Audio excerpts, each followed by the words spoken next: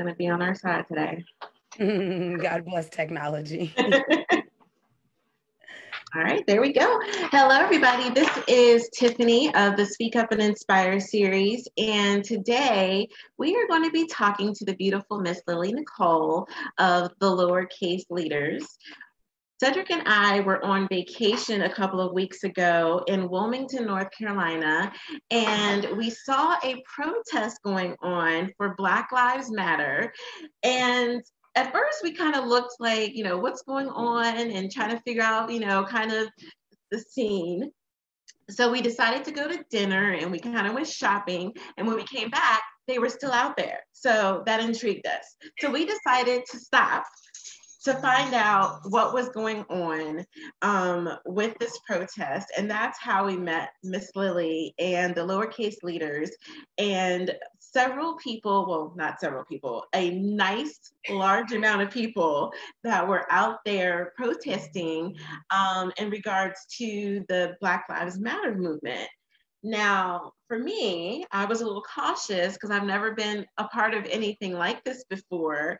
But for me, it was very humbling and very educational um, to be there to witness this, especially not ever being involved in anything like this before, but also to see so many different races that were there um, in front of, was that the City Hall, Ms. Lily? Yes, ma'am. We are right on City Hall steps. We're referring to it as the city's front porch. Right. Okay. Because I was going to say something about front porch, and I'm like, no, that's not the name of the place. It was the city hall. um, so it was really, really nice to see um, different races out there, which made it even more interesting to me. Because when you know you think Black Lives Matter, you're not quite sure who is going to show up and show out for mm-hmm. something like this. Um, so I saw young people. I'm pretty sure I saw a couple of teenagers there. I saw um, older people. I saw a couple of seniors. I saw white people, I saw black people, I saw a couple of hippies, um, I saw Asians, I saw, you know, straight people, LGBT people. So it was a big variety of people that were there supporting the Black Lives Matter movement, but even more importantly, they were um, supporting the lowercase leaders, which Miss Lily Nicole um, is a founder of. Now, are you the founder or are you part of co-founders? I'm definitely one of many founders. Um, the Lowercase Leaders is a community organization that was born from a protest voiced by the community, um, bodied by the community, supported by the community, completely moved by the community. Um, we're completely representative of our community.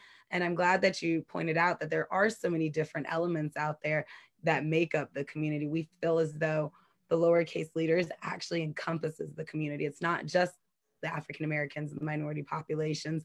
It is the older residents, it's the locals, it's the natives, it's the college kids, it is the artists, you know, the service workers. It's it's the whole community. And I'm, I'm just one of many people who decided to step up and, like you said, step up and step out.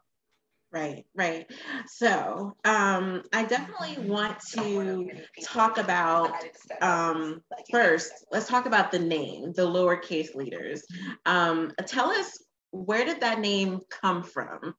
specifically? Um, honestly, it came from uh, the original Sunday, everyone refers to as, you know, Bloody Sunday or the, the initial Sunday, which is May 31st. The absence of any real leadership. If you went on social media regarding the protest that was happening on Sunday, no, everyone was like saying, don't go, we don't sanction it, we're not condoning it, we're not sponsoring it. But myself and quite a few of my other board members knew individuals who were going down there. For me, primarily, I knew a lot of younger theater people who are going down there. That's one of the communities that I'm very, very embedded with. And I knew they were going down there and I wanted to show support, but also I, I went down there in like a supervisorial aspect. I wanted to make sure nothing happened. Um, nothing happened to my community, nothing happened to the building that I worked at. You know, there, there's a lot of elements that I was fearful of, but also that there just was no leadership. All the people who had names and titles and were representing organizations, they literally threw their hands up and they were just like, you know, we're not going, we have nothing to do with this. And through that, we we came. We didn't want leadership. We didn't want, you know, the, this platform. We didn't want this responsibility, but we rose to it because we came together, we leaned on each other. The community came together with us and just gave us the energy and the encouragement. And we just listened. I, feel as though for the first time in a long time, the community felt like they were being heard to and actually listened. And um, I'm, I'm just saying what they're asking. I'm, I'm reiterating their requests. I'm, I'm, speaking their their words for them. And um, I, I just I'm privileged enough that I have like an annoying enough voice that people are listening, or a squeaky enough voice, or a loud enough voice, you know, what have you. Somehow, some way, people are listening, and I'm just trying to make sure that all of the community's issues are being addressed. Right. So that's leads to the second question. What are the issues that the lowercase leaders are addressing? What are you what was the reason, the issue that started the lowercase leaders, and then what now are your focus issues? um, the lowercase leaders, uh, we we decided to solidify ourselves because we realized that there was a hole. There was there was literally an absence of acknowledgement for the community. we fought like the first week, actually the first two weeks, we kept saying we weren't going to do social media, we weren't going to create a Facebook. You know, that's not what we're here for. That's not what we're about. We're here to, you know, just collectively protest and make sure that our our anger is heard and our grievances are heard and we had that area. And then the the cops were harassing us and annoying us. And then you know the the named leaders were saying oh don't go down there. It's covid. You know you got to protect yourself. And there was just so much naysaying and so much still unaccountability from people who have either been voted there or elected there or you know have been there doing it for a while. We we noticed that there was just a gap a miscommunication a lack of connection. We noticed that there are bridges that have been built that people don't have access to or people didn't even know that the bridge was there. And so we decided to permanent ourselves. So we applied for our 501c3 we put that in motion um, at june 9th i believe is when we first reached out to inquire about how we can go about getting one because we realized that our community needs us to stick around. This can't just be a collective gathering. Okay, we're going to stay together for the protest. Nope, no, we realized our community needs us to stay together for real.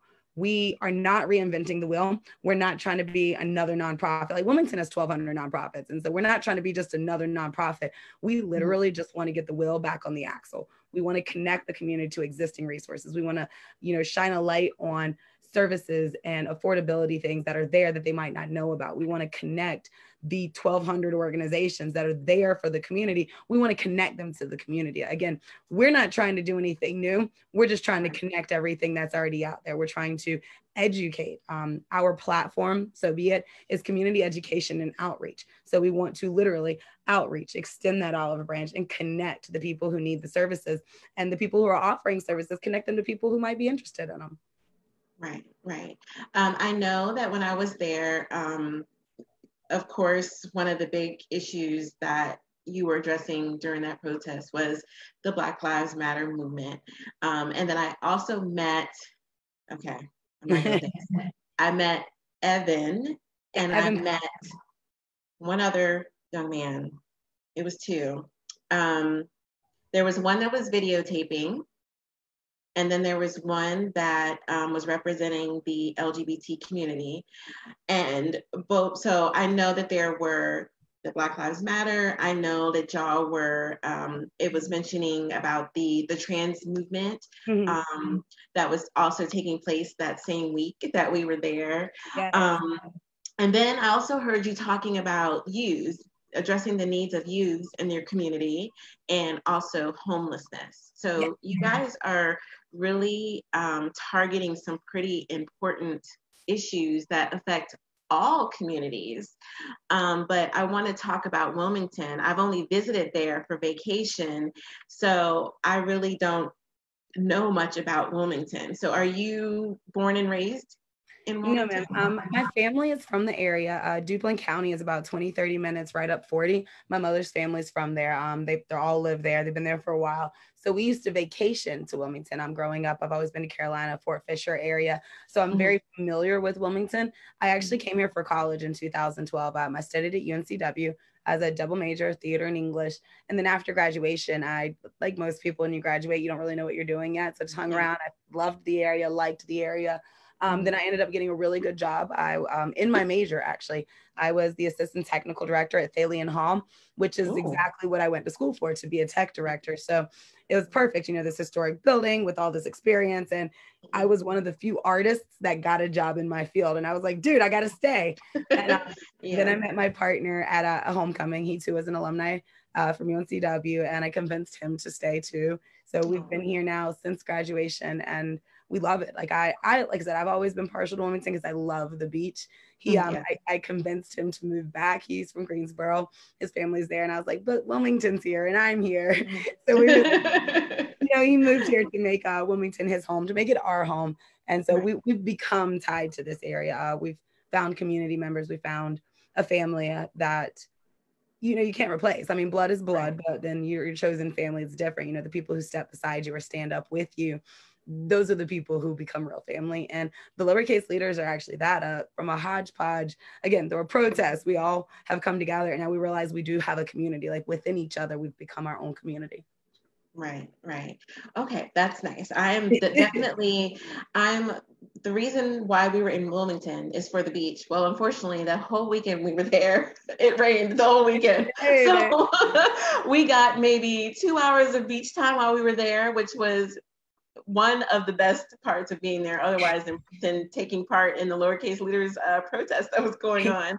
That was the other highlight of our of our stay. So um, i know that with the lowercase leaders you guys when we met you were not a 501c3 and so you guys were out there every single day and i heard you say we're going to be out here every single day until so how were you able to make this happen? Like, um, I, I thought it was like a simple answer. I was like, you know, we just went and applied for a permit. But I've been talking to a couple of uh, of the leaders in the community, and again, not like the named like uh, the elected leaders. When I say right. leaders of the community, I'm referring to again the foot soldiers, the gentlemen right. and the ladies who have been doing this, and you know, they've been fighting way longer than I've been alive, or you know, way longer than they should have. Um, and I, have been getting a lot of wisdom and advice from them, and, and they're just like shocked at the existence. I was speaking to a gentleman today, um, Mr. Abdullah, and he said we're, we're doing something that's never been done before in Wilmington. Like we've literally occupied Wilmington, you know, we've occupied the city hall. So I do refer to it yes. as the front porch because that's my house now. Like I'm there at eight o'clock in the morning. I set up my tents. I take meetings there. I, we got rocking chairs out there now. So we're literally chilling. Um, if you drove by today, there was literally a clothesline hung from not the columns because we found out we can't hang on the columns. So we made our own rigging and we hung a clothesline and we hung signs from the clothesline. So I'm literally airing oh, wow. dirty laundry. Um, yeah dude, it was as simple as going to get a permit, and we got a permit because people keep harassing us. And we got a permit to prove a point. Again, taking it back to that original May, the police officer said our, when I say our, the collective community protesting, our mm-hmm. initial infraction was the fact we were gathering without a permit. That is mm-hmm. literally what they said our initial infraction was. We had an illegal gathering because we did not have a permit. And then, of course, you know, we got into the streets and then they were like, oh, well, you're blocking traffic. This is illegal also. But they kept using the lack of a permit as an excuse. Right. And um, when we showed back up on Monday, you know, they were somewhat polite because you know Monday into Tuesday it still got really dangerous. But again, yeah. they were like, "There's no permit. There's no permit." So we actually had a really generous community member. He got up one day. I want to say it's maybe that Wednesday following that um, initial Sunday, and he got us a permit from 7 a.m. to 9 p.m. till June 6th of 2021.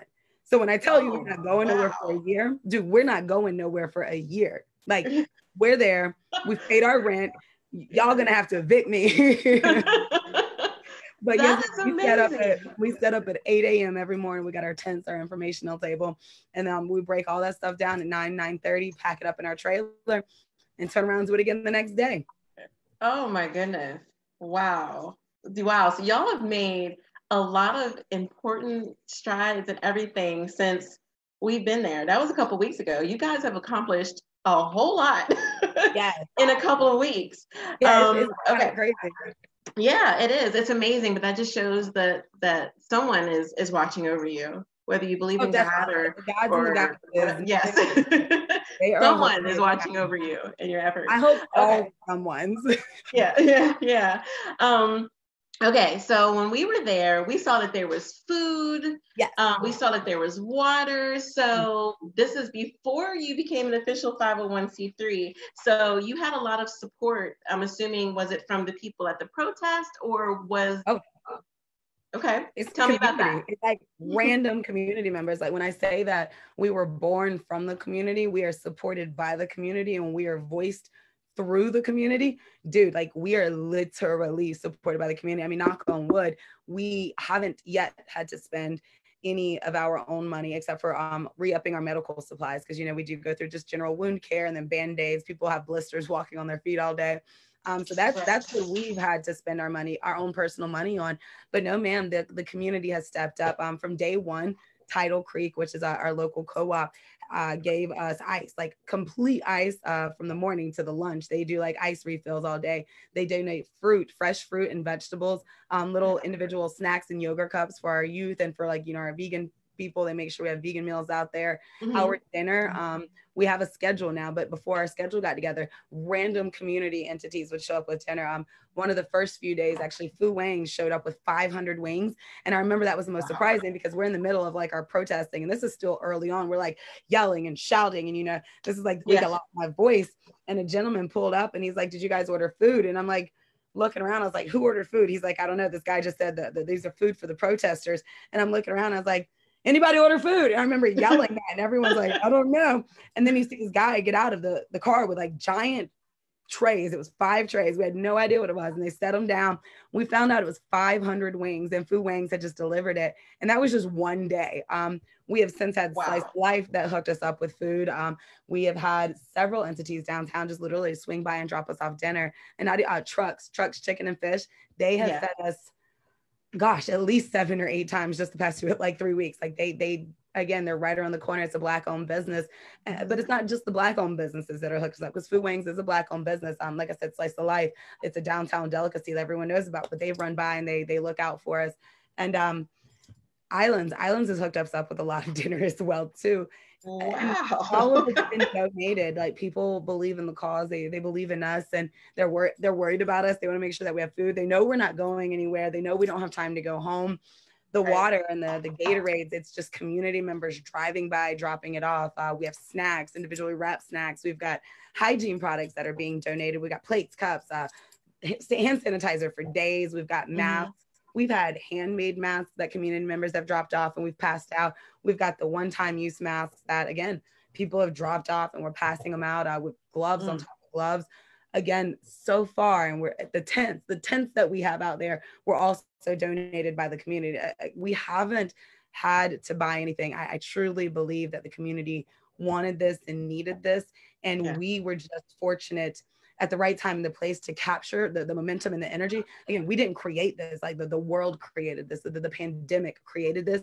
We were just in the right time at the right place to capture this ball of energy and then roll with and do something with it. And the community is supporting us because they know that this is the fire that Wilmington needs. Right, right. Wow, that is that is really amazing. Um, you told a story about a older Caucasian woman who used her body as a shield or as a I'm not I, I'm I know I'm probably messing it up. Can you tell us that story? tell us that story please because it was it was really hmm listening to it, I mean, you know, I've looked into my heritage and, you know, I have Caucasian in my family and I have so many other things in my family. So when you were telling this story, I was just thinking about like that could have been my grandmother um, that came out here to be a part of this. So can you tell us about that story briefly? Um, yes, uh, I think this is the right story, but there's this, this one lady, she had been watching us on live for a while and um she commented and she she's you know been watching and following along. And then one night uh things got a little bit hairy and she did come down and she she I don't want to say she's an older woman because you know that would be like over aging her, but I want to say she's like maybe mid 50s. So she's older than me and definitely has been through this beforehand. And she actually came down, she had like a little wrist brace on and she came like flying down on her scooter and stuff. But she did, she physically uh, has inserted herself on more than one occasion since then. I mean, thankfully things have got not gotten as hairy, but we have since had one or two more scuffles um, with the police officers, but she did. She she physically came in and she threw her body in front of us, in front of us. When I say us, I mean people of color. Um, um mm-hmm. myself and a couple of our board members and several of our protesters physically put herself in front of us to stop the police officers. And her response was i i look like their grandmother. I look like their mother. I'm depending on their age. And she said if that won't stop them then literally nothing will. And she is willing to do that because she realized that she's coming from a place of privilege. She said, I will literally stare them in their eyes and they're going to see their grandmother. And I could relate to that because I too have white in my family. Um, the majority of my family is Caucasian. My mother's Caucasian. My grandmother is Caucasian. Mm-hmm. And listening to her and watching her throw herself physically in between myself and a police officer, I had that same thought as you like, that could have been my grandmother. I mean, it wasn't to, for mm-hmm. other reasons. My grandmother would not have done that but it could have been it. and that that commitment to what a lot of people think is our cause or that support of a lot of people think is our cause mm-hmm. reiterates the fact that it's not just our cause. Yes, Black Lives Matter is a movement highlighting the atrocities that people of color face, not only at the hands of the police officers, but at the hands of the entire American system. But it's not a political statement. Black mm-hmm. Lives Matter is a humanitarian movement, and a humanitarian movement affects all individuals. Every single person alive and breathing needs to support Black Lives Matter because supporting Black Lives Matter is supporting systemic change. Supporting systemic change is supporting the growth and the elevation of humankind. And if you can't get behind that, then you are the problem bottom mm-hmm. line like the, the, this is something that is not a gray area. And i'm a, a very literal being and like i said i was a theater major so i'm huge with intentional language and making sure mm-hmm. that what i'm saying is what i mean. But no way you paint it no way you look at it is there a gray area? You're either for the movement or you're against it. You're either racist or you're not racist. You're either for redoing a system built upon violence that reiterates violence, that instructs violence, that institutes violence, or you're against breaking down that same system. There's no gray area about this. I don't care your race, creed, color, or your age. Black Lives Matter is a humanitarian movement that goes far beyond Wilmington, North Carolina, far beyond the United States of America. It's it trickles into other countries point blank. It is a humanitarian concept that we need to invest in. Mm-hmm. Yeah, I know when the whole um, Black Lives Matter movement started, I was kind of on the fence because I'm a very big, I'm a very firm believer in claiming all of who I am. Um, yeah, so it was a little hard for me to say, you know, Black Lives Matter. So I was the one who kind of sat back and watched, you know, the movement become the movement. And mm-hmm. then you have people who come in and say, well, all lives matter. And I was like, okay, now that I can do, all lives matter, I can do that. But then I started seeing statements that said, all lives matter, the, all lives don't matter until Black Lives Matter. Yes. And so that is when I said, you know what? I can be on board with this because that's true. All lives don't matter if only certain lives matter. Yeah. Um, and so that was the education for me that I needed to be able to support because it's not that I'm saying that the Caucasian side of me or the you know Native American side of me or you know all these other sides of me aren't mm-hmm. valid but it's saying that this part of me, the African American side of me, is valid and that this is an issue that all of us, regardless of our race or our background, culture, or whatever, need to be a part of.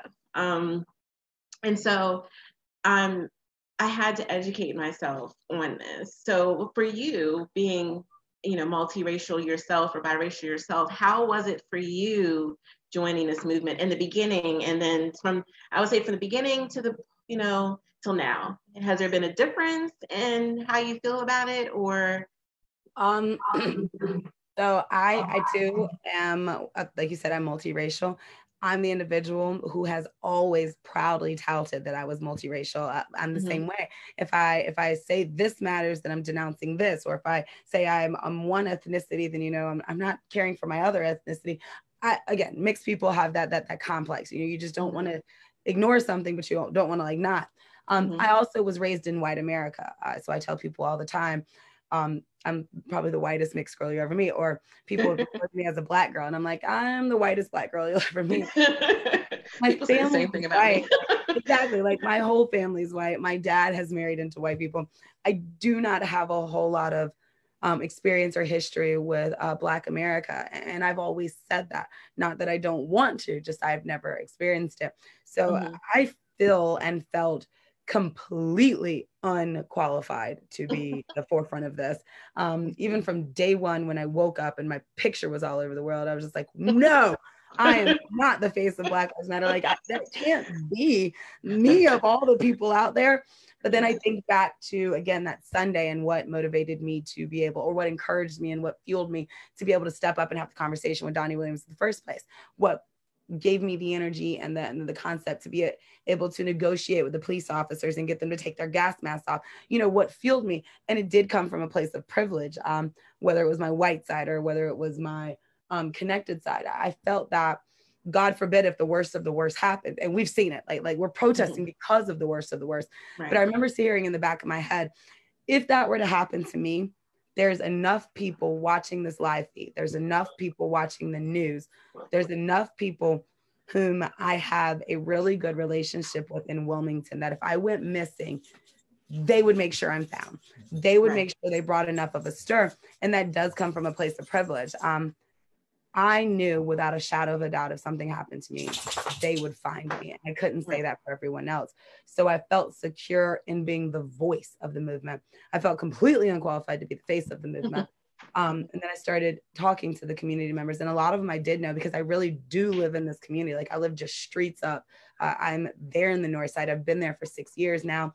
I was there during Hurricane Florence relief. Like I was walking around with a wagon, getting to know my neighbors and checking in on after Dorian, same thing. I'm out there cutting up trees. Like I, I have done the footwork. I'm at, so I, have been low key an advocate longer than I've known, mm-hmm. but I don't know. It's still very, very surreal sometimes for me to accept and or take in that I have become one of the one of a prominent faces for the, the Wilmington movement. Um, it's ridiculously humbling.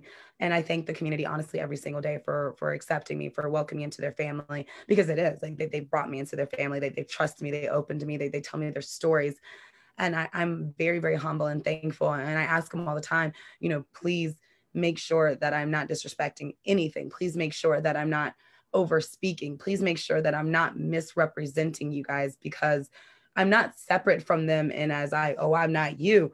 I just know that for my entire life, I've never 100% been immersed or knowledgeable of it.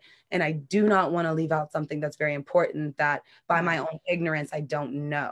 So I'm, I'm super open and I am, um, I don't want to say relying relying heavily on, but I am leaning on a lot of the community members who have stepped forward to give me advice and to, to guide me and to, you know, make sure I'm handling the situation respectfully. And I'm, I'm super, super thankful for them. I, I've known them in other walks of life and in circles, but them stepping forward to make sure that I know what I'm doing, I really appreciate it. But also on that note, they're not telling me what to do. They're definitely guiding me. And honestly, they're telling me to continue being myself. They're telling me to continue on the path that I am and just keep speaking and keep the conversations going. And I, am thankful for that. So it, it's kind of it's kind of surreal. I'm not gonna lie. Yeah. Yeah, um, I don't know if you noticed that at the protest, I, I really didn't do a lot of standing and the, the honks, you know, the, the horns were honking and the, the fist. I really didn't do that because I didn't feel comfortable mm-hmm. um, doing that. I was I was satisfied with the fact that I was there yes. and being supportive. Um, I was doing live footage for the podcast. I took some pictures. That was my way of being a part of it. Um, that's and that's, help.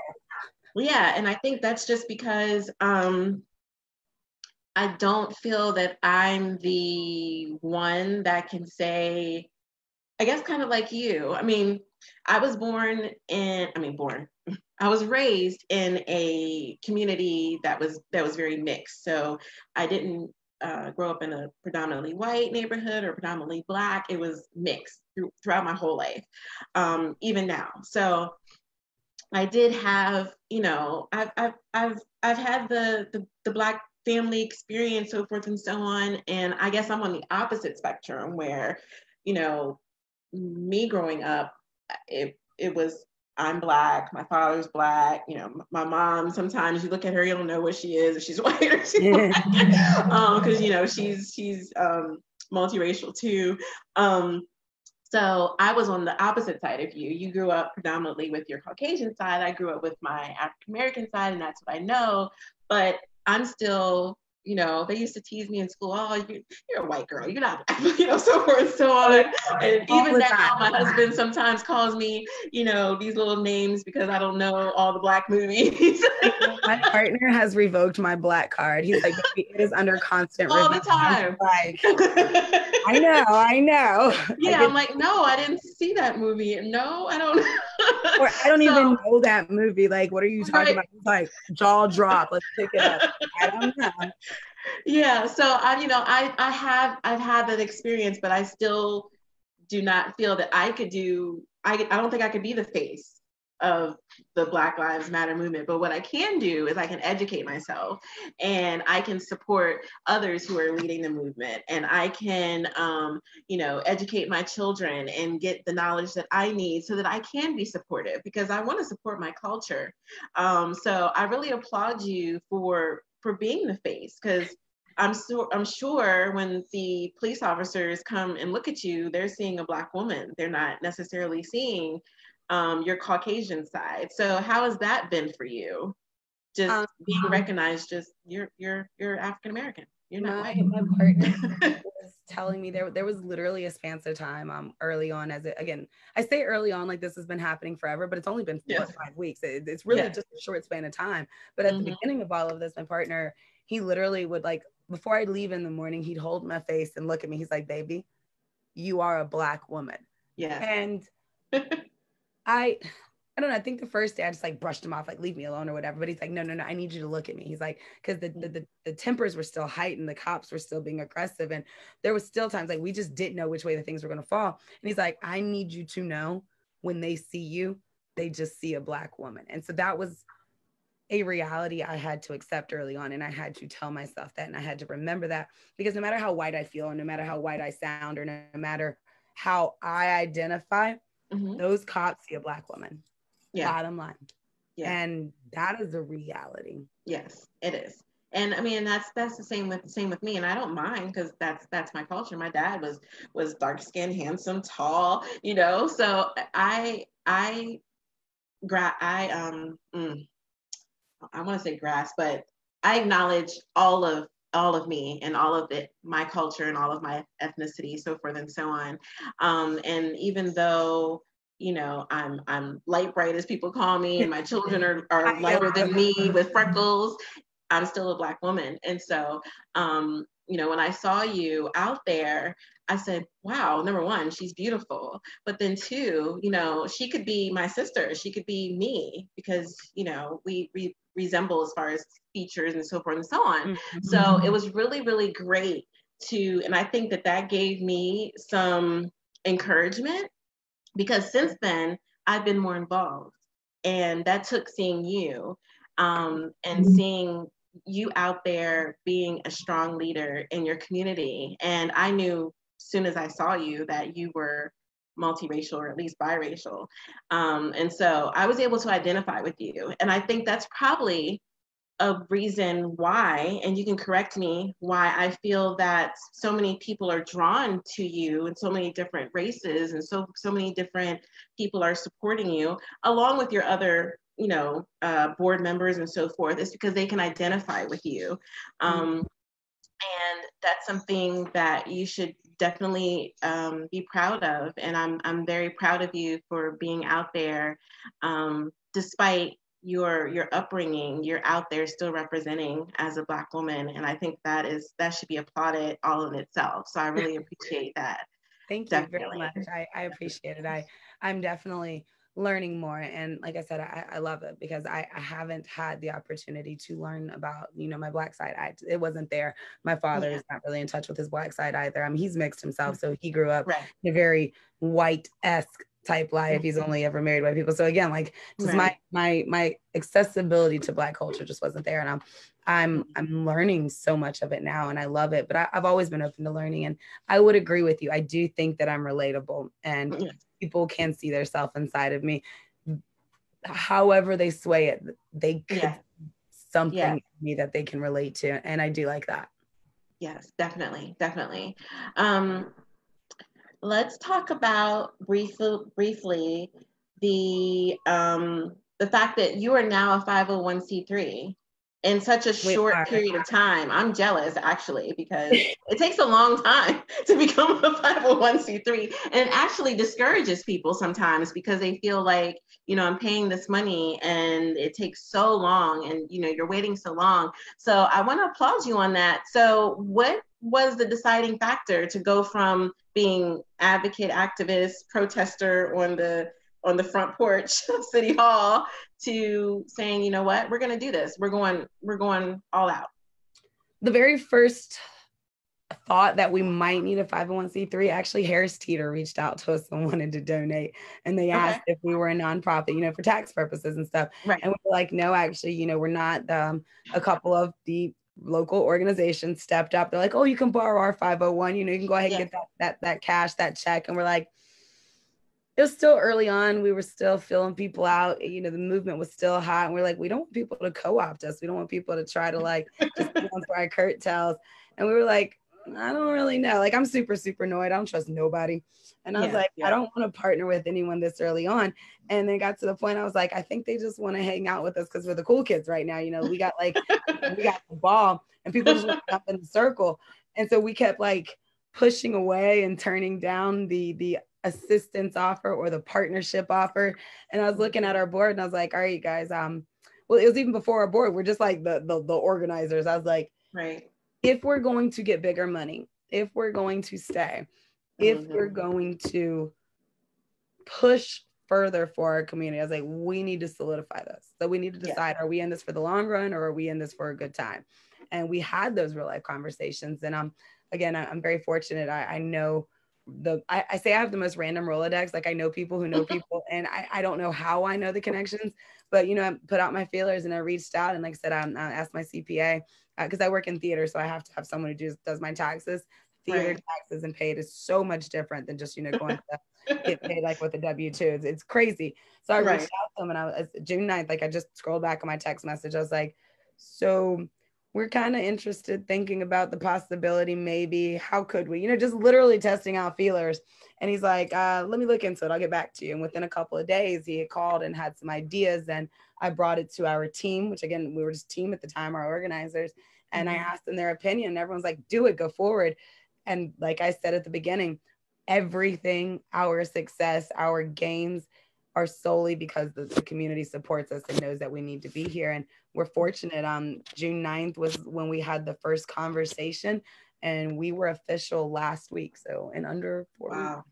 That is amazing. Four weeks I acquired it. And and I do know how long it takes to get a 501c3 because I'm also the president of a charter school. That's uh-huh. a nonprofit charter school. And that mm-hmm. took us almost a year to get that 501c3. Yeah, it takes a long the hurdles and the hoops are hard. Um, our CPA told us it could be six to eight weeks before mm-hmm. we hear something back. But again, the gods are looking out for us because we got ours in under a month and we got a, a, bank account. And so now we're able to get those bigger donations. Now we're able to partner with the larger companies. Um, and we didn't want to do it for ourselves. Again, we could care less about the tax write-offs, but having those numbers, we realize gives us a level of authority that we wouldn't have had before as an organization. And it's right. actually come in handy. Um, past few weeks, we've had to use that um, authoritative sway, so to speak, to navigate the jacked up system that we're protesting um, to advocate for some of our community members. Um, a lady got displaced uh, in a personal situation that she was dealing with, and we needed to seek shelter, like emergency shelter for her.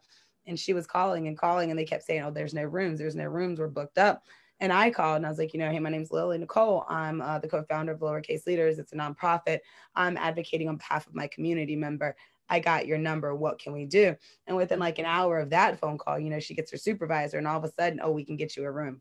Yeah. But literally, you just told this lady there's no beds. Yeah. And so I'm I'm learning that you know that nonprofit gives you a little bit more pull, and so it helps us advocate for our community. It helps us get those connections. It helps us get them taken seriously. So yeah, the the, the push forward it was a no-brainer. We, we realized we needed to do it so our community knows that we are there for them. We didn't want to be just another pop-up fly-by-night band-aid mm-hmm. fixer. We mm-hmm. wanted to show them that we really were serious about staying with them. Right, right. Um, what is what's in um we're gonna personal and then lowercase. So what are your personal goals going forward? My personal goals, um, I want to establish two full-time paid positions within LCL. I want four part time positions. I want two internships and at least two apprenticeships within LCL. Um, all paid positions. That's my personal goal is to make that happen. So partnering with the big companies, putting my feelers out, having the conversations to make sure that I can solidify that. That that's my personal goal that I want for for the the community, for the the the, the organization, for my people. Nice, nice. Okay. And so for the organization, what are some of your goals for the organization? Um, we are in the process of starting a community breakfast program um, that will operate Monday through Friday year round. Free breakfast from 6 to 10 um, will be our operating hours, and we're going to be putting it on the south side. So that's one of our first goals. We are also in process of gathering and maintaining the community gardens that are in town. They've previously mm-hmm. been collected. So we mm-hmm. want to like take them over, recultivate the earth, bring the community and show them how to do the earth and do the work and get the ground. And also we are advocating for the police. Um, we're, we're focusing heavily on the police departments. We want mandated therapy for them. We want mandated community policing. Um, an example if you have an eight hour shift we feel like two of those hours should be on your foot walking through the community like that level of community policing.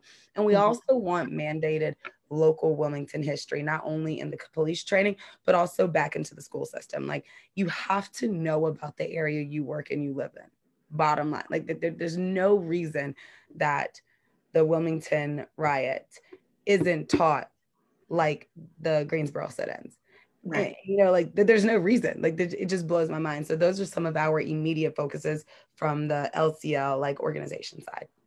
Very good, very good. I'm excited for you guys. So I know that you said that you had some um, events coming up. Tell us what you have going on. One of the ones that we're super excited about, um, Chris Everett, actually, he is the director, writer of the documentary of Wilmington on Fire, which is an amazing uh, film. It first debuted in Cucalorus, excuse me, Cucalorus a few years ago, and it has mm-hmm. since been on like different film circuits. He's traveled around the world. It is an amazing documentary. If no one's seen it, you should come to City Hall on July 25th because Chris okay. is actually come to town and he's going to talk to us. He's going to rap with us. He's going to let the company or the community know like what it's about, why he did it, and we're going to stream it. So you're going to get a chance Ooh. to see it, and we're super nice. excited about it. Mm-hmm. Um, that is, that's a huge thing for a lot of people because again, it's a brief introduction into the history and it's so well done that if mm-hmm. that's all you do to start your education, dude, I'm mm-hmm. happy with that. Just start your education. Right. And what's the name of it again? I'm sorry. It's called Wilmington on Fire. On Fire. Got yes, it. Ma'am. Okay. And okay. another event that we're really excited about, we're actually partnering up with some organizations in town. It's still early in the development, but it's going to be a completely free community yard sale the weekend of the 17th through the 19th. So it's actually coming up very soon, but it's mm-hmm. going to be completely free. We're currently accepting donations. I think we're actually just getting it up on the website so or the Facebook so we can start announcing and cultivating that. But it's going to be on 1219 Dawson Street um, Friday, Saturday, and Sunday, and it's completely free whatever you have at your house right now, whatever you're going through, your clothes, your pillows, your couch, you know, you got an old stove you want to get rid of, anything. I mean, people are in transition right now, like they're still in COVID. There's a lot of mm-hmm. resources that they don't normally have availability to that they would have availability to. So we want to put it all in just an outdoor space, again, socially distance responsible, but we want to put it there and have the opportunity for people to come out and get what they need completely free. Like people still aren't working. It's ridiculous. People are hoarding things. Just bring it to us. It's a giant yard sale for the whole community. Um, so we're really excited about that. That is great. That is great. Um, I know that you were saying early on that you were getting some kickback from the police.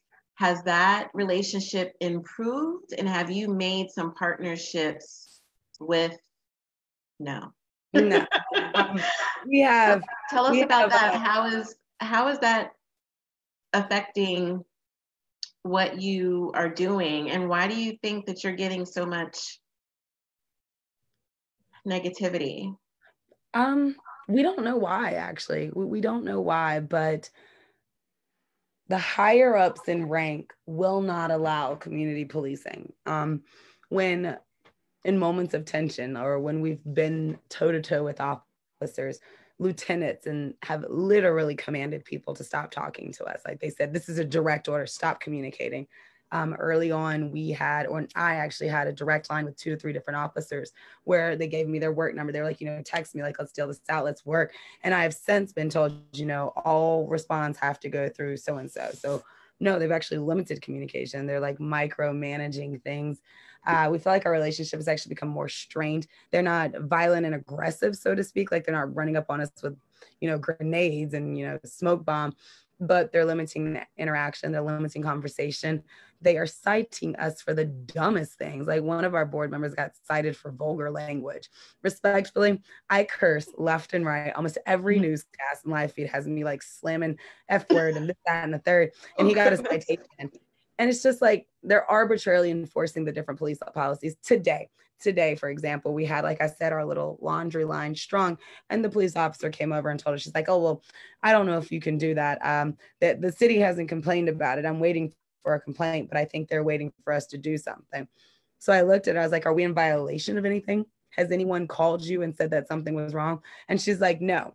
But then she went inside, walked around, talked to them, and she's like, okay, well, yeah, they said that it's an issue now. I said, so you went looking for a problem. Yeah, yeah. She, so yeah, she created an issue yeah, they're arbitrarily forcing. So now it's that stuff like nitpicking, doing what they want to do. We went on our march. She said that the decibel level for downtown is 75. She had her little decibel reader out. We were at 82 decibels. And I asked her, what did she want me to do? That was yeah. with no megaphone. That was with no like sound amplification devices. That was just us talking loudly. Hmm. Wow. And I literally looked at it, I was like, what the, what the, what do you want me to do? Tell people to whisper on our marches? it is a yeah, protest. it's kind of hard to have a protest and and talk about issues in the community. With marching. Yeah. And her response was, Well, you don't have to talk so loudly. There are some people in your group who are aggressively yelling their voice. It's a protest. Respectfully, honey, we could be burning the city down like other places. Like you, you just yeah. should be happy all we're doing is yelling. Yeah, yeah. You guys were very um, civilized. You were very respectful. Um, no one was yelling and screaming at anybody. Um, you know, people would go by and honk, and everybody would put their hand up. No one was throwing anything. You you cleaned up behind yourselves. The area was spotless. Um, so I think you guys are compared to other protests that we've seen and so forth and or marches or whatever you guys were pretty pretty great which was which made yeah which made me m- more comfortable to come because Cedric was actually the one was like, you know what, we're gonna park and we're gonna go, and I was just like, can I add? I it's like, you know say, what? Can I just sit around the corner real quick? I just want to say that uh, especially at the end, the um, I think it was the the eight minutes of silence. Mm-hmm. Um, that was like super emotional for me, but I, I felt like that was the best part. Um, and then you know we walked away and we walked to our car and we were just like, I'm really glad that we stopped. Yeah, yeah, and um, you know, we, we were there what two more days after? Two, yeah. Mm-hmm. Well one and a half days but um because i think we came to you on sunday we left on tuesday. But the rest of the days we came by and honked our horns and made sure you guys were okay and no one was harassing you because one thing uh, i might not be want to be the face or feel like i'm going to be the face but if i see someone that's being mistreated i will do something exactly. Like I'm very big on that. yes. Um, so so yeah. Now, and I meant to ask you this, but do you have accessible the eight minute um reading that you did or yeah the... what we were saying um was actually George Floyd's uh, words. It was nine minutes of silence, and on every minute we had a different saying. And um, I actually do have it. I can. Okay. Yes. Okay. So it was nine minutes, and I, I was aware that it was um, George Floyd, but I wasn't sure if you had it accessible to you. So I wanted to say, was there anything else you would like to share with us? And if there is, let's talk about it. If not, then I wanted to end our interview with that because um, I do. Uh, we okay. again through the, the evolution, we're like on week six now and uh-huh. we have um, with obviously schedules and themes and mm-hmm. breakdown but one of the biggest components of the growth of our organization is like i said it is a nonprofit and our platform is community education and outreach. So we have a structure now. Every single day monday through friday it's 8 to 9 saturday and sunday it's 12 to 9 from 8 to 12 it is our socially distant slash little protester time because again, COVID, COVID's real, man. Yeah. People are scared to get out there and protest. Um, studies are showing that actually the protesting is not spreading COVID.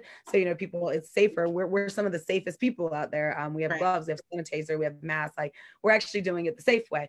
But eight to 12 is socially distant slash little protesters where we have story time, engagement. They can make their signs. Um, we have masks that they can color and draw and personalize it. So, it's a way for parents to get their children out there to understand and be part of it without risking their safety.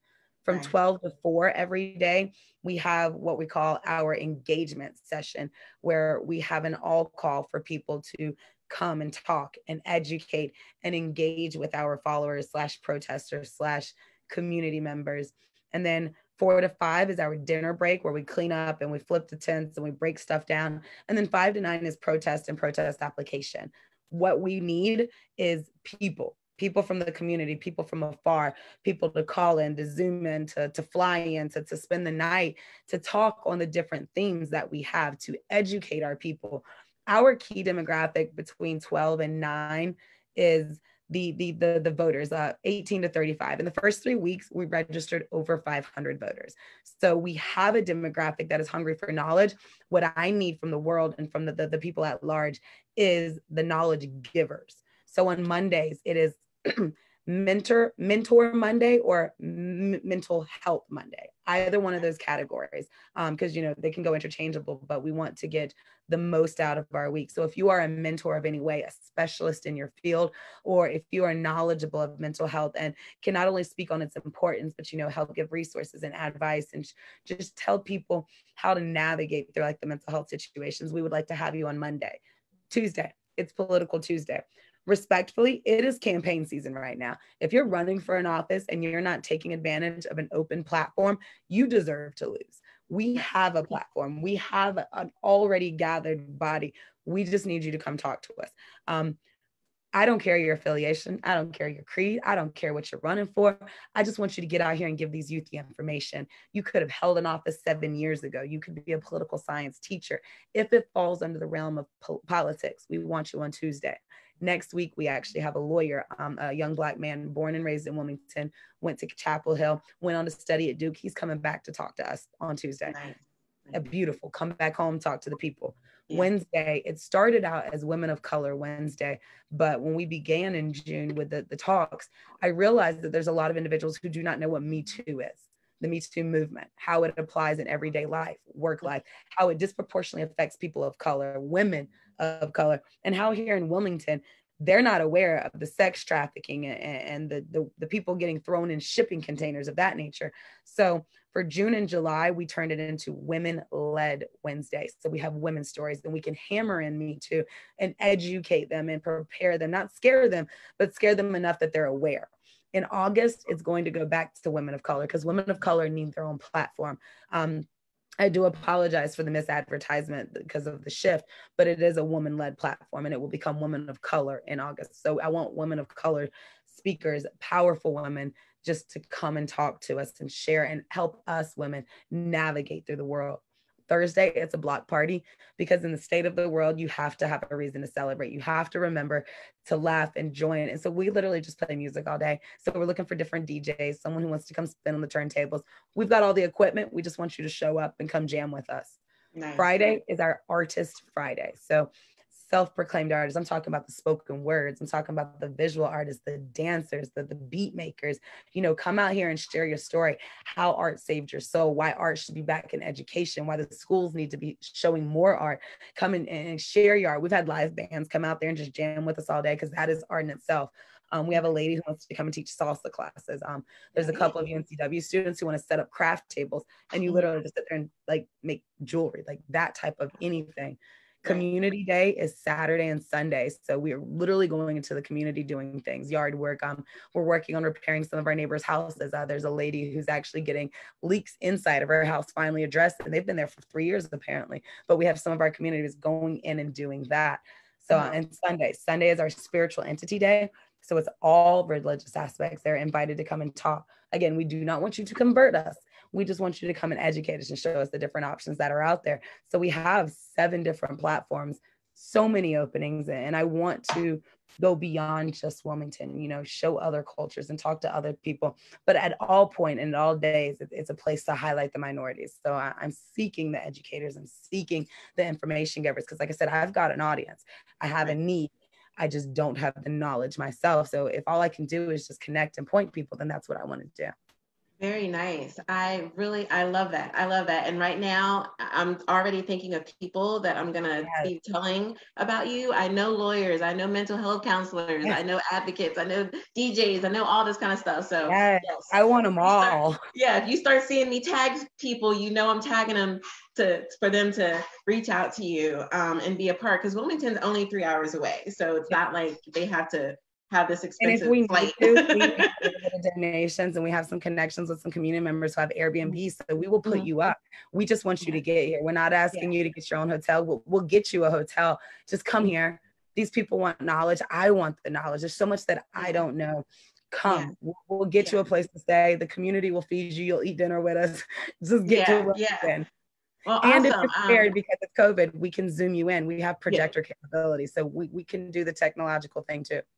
Great, great. Well, I definitely want to talk to you about coming on Wednesdays. Um, I'm not sure if you know, but I remember when we met, it was so much going on. You probably don't remember, but you might, um, that I'm a domestic violence and sexual assault advocate. So I would definitely love to come out on Wednesdays and talk about domestic violence and, um, you know, share some statistics there in Wilmington and in North Carolina specifically, because North Carolina has one of the highest traffic rates um, in the U.S. It does. Yes, and as Charlotte is the highest in North Carolina, they're saying for um, domestic violence. So it'll be great for me to do some research and find out about Wilmington. So definitely would love to come down there on a Wednesday um, and uh, share for your love to have an African American woman come and say that yes. a woman of color. We've had a couple of um of what a white educators, and again, I'm super appreciative Right. Wilmington is very rich in white people. Yes. White people know shit. thankfully, yeah.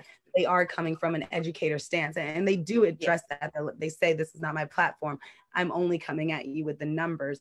Um, mm-hmm. but but yes, ma'am, I would love more women who look like the people we're talking to, who mm-hmm. who have who need a platform for so often they don't get that chance.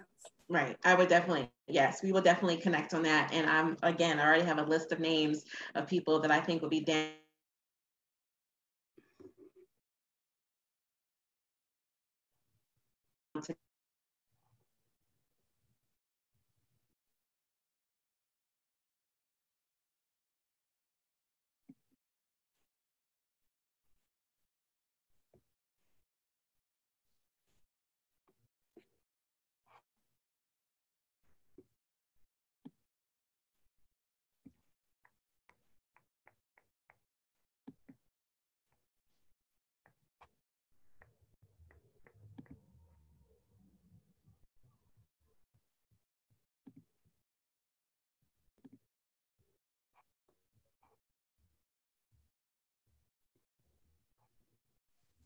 I don't know what happened. That was me. but anyway, we're here. There's no reason why anybody should be hungry or homeless or or so forth and so on, if they all work together. It's, it's not, the pie is not just for one, for one organization. It's for everybody to get together. So um, yes, thank you for sharing that. That was very, very, very important. We have gone over our time, but if you're willing to do the nine minutes, I would love to do the nine minutes. Yes, ma'am. Okay. So we would start at 8:45. This is how we did our meeting because at the time we had our nine o'clock curfew. So we'd start at 8:45. So this would get us done at 8:53 with seven minutes left to clean up. Um, the what we would go through is um, on the, the minute mark, we would start with I'm through. My stomach hurts at the eight minute mark. My neck hurts at the seven minute mark. Everything hurts at six minutes. I need some water at five minutes Please, I can't breathe at four. They're going to kill me at three. Don't kill me at two. And then, mama, mama, I can't at one. And then when the buzzer would ring at zero, we would hold. And more often than not, we would say, Together we rise. And we would all get up. Um, when we would start the nine minutes, I would ask everyone to take a knee or everyone to kneel because those nine minutes being on your knee on the concrete was just marginally uncomfortable. And I would always bring it back around. I could not imagine the, the level of discomfort, not only that the world was feeling, he was feeling. But if you can sit there and bear that for nine minutes, then you can take this and further it. You can take this message and further it. You can take those sentences and reiterate them and make sure someone else hears them. Yes, yes.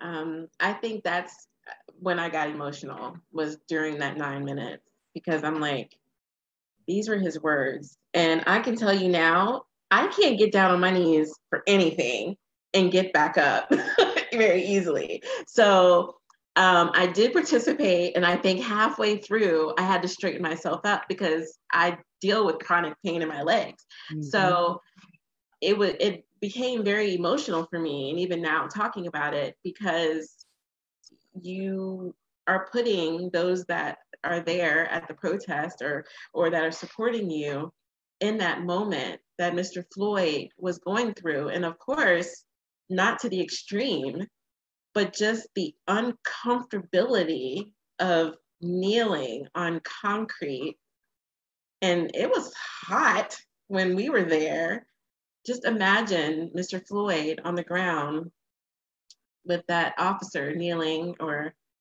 his knee on his throat. Um, hot. I, I can't. I, I, I can't imagine, you know? And what if that was my dad? Because he had children. What if that was my son? What if that was my husband, my best friend, your partner? My nephews, my nephews, yes, my brother. What if it? What if it was any man that I knew in my life, like I knew on a first name basis, and the fact the fact that the last thing that he, he did, he called out for his mother, and his mother had died two years prior. Yeah. Yeah, the, the, the nine minutes, and that was my first time hearing all, the whole, you know, the dialogue at uh, on the front porch.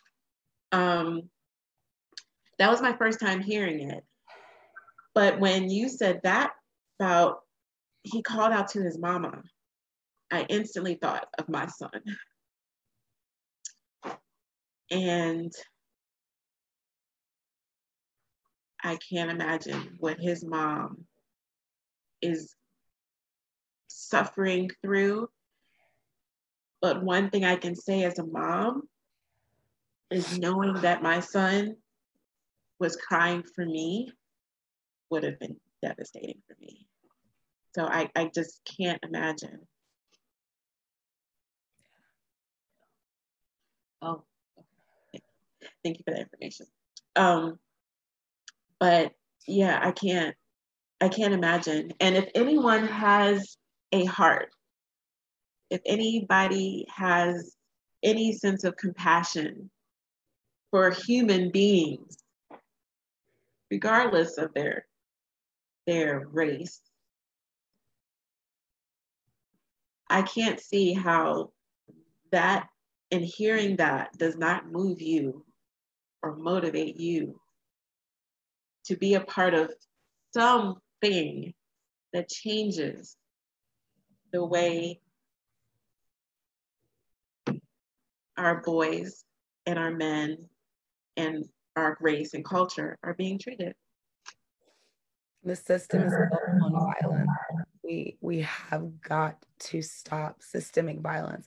We have got to wake up to the fact that racism is real and it is fueled by violence. The system is built and structured to support violence. We as a people have become desensitized to violence. So we need to retrain ourselves. We need to recondition ourselves. We need to turn our moral compass up. We need to inundate ourselves in healthy practices. We, we need to go back to communicating. We need to, the violence has got to stop across the board. Violence is violence is violence. And somehow, some way, we've got to unite and agree that enough is enough. I don't care what kind of violence you're fighting against, violence has got to stop. And and I'm not, you know, one of these peace, love, and happiness hippies, you know, because there's a time and a place, but the level of violence that we have become accustomed to and that we have allowed to get this far to the point that we watched a man die for nine minutes on live TV or live feed or live whatever the hell you were watching, if that didn't jar you and motivate you to move, you are part of the problem. You are part of a violent system. You need to be held accountable for your violent acts that you're encouraging. You are the issue. And I, I will say, I don't care who you are. Like again, race, creed, color, class, I don't care. If you are complacent and encouraging in that level of violence, you're part of the problem. I agree. I agree. And I don't, I'm going to let that be our closing for tonight. Um, thank, thank, you, so much. For having me. I appreciate you. Um, I'm very proud of you. Can I ask your age?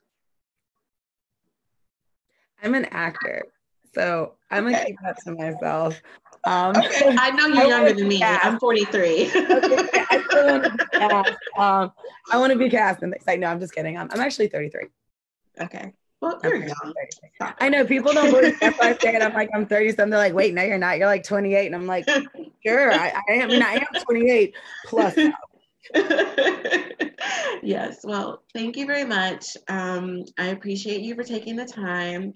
Um, I know that you're very busy. I know that you know you're probably supposed to be on the front porch right now of City Hall.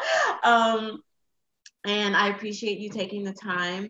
Um, this will not be the last time we have you. Um, I definitely want to schedule to come down there in August.